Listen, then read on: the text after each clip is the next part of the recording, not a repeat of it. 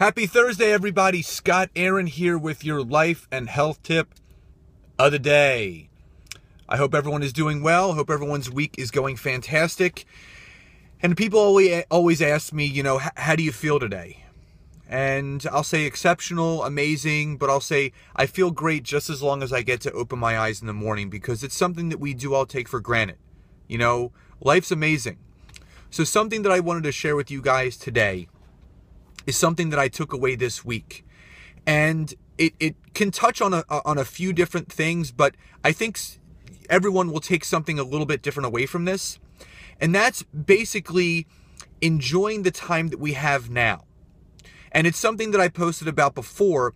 Everyone gets so focused on what has already happened, which is the past. And once we all wrap our arms around the fact that we cannot control what has already happened.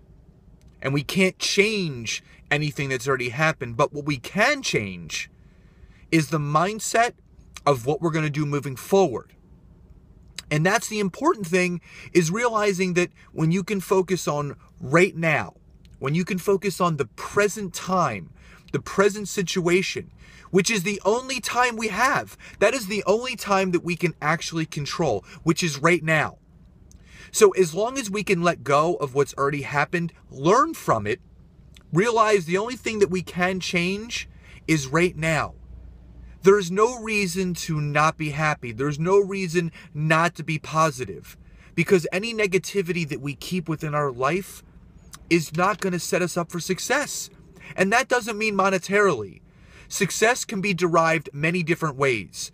What is your definition definition of success?